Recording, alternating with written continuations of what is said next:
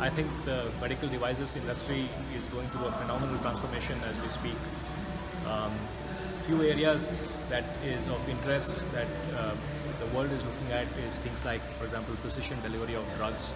Um, as we know that the pharmaceutical industry has done fantastic work in creating specialized medication for specific, specific reasons. I think the medical devices industry can really join hands in, in really enabling precision delivery of drugs to the areas of the human physiology where it's most required uh, through miniaturization, through robotics and so on and so forth. So I think the exciting part is that you know these industries can come together in really making a difference in the way precision medicine is, is delivered through precision to specific location in the, in the human body.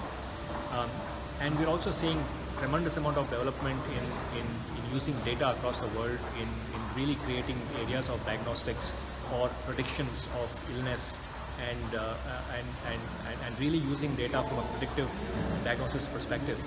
Uh, we would probably see that over a period of time, the amount of data will be so rich that uh, AI and machine learning will be able to deliver a holistic diagnosis of, of a person uh, from, from what is today seen as being siloed uh, in, in the areas of diagnostics. So I think we see we will see some of these trends really becoming quite exciting in days to come and, and decades to come.